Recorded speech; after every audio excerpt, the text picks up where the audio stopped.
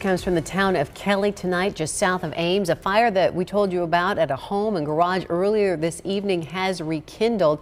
This is a live look at the scene right now. Fire crews called back out. You see firefighters on top of the roof of the home trying to extinguish the hot spots. Uh, again, this fire rekindled. You do see flames on the back side of that roof.